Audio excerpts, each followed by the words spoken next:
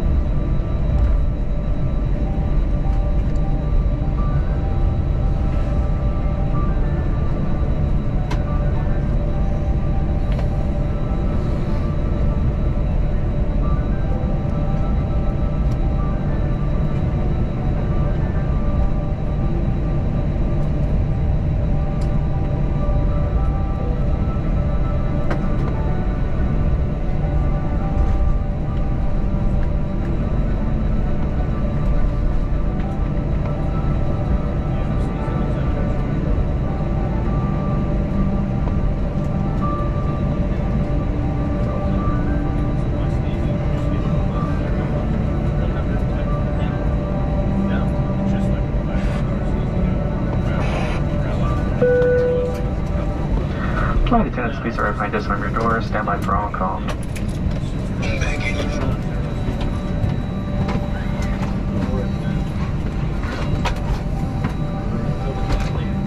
Hey, right, yeah.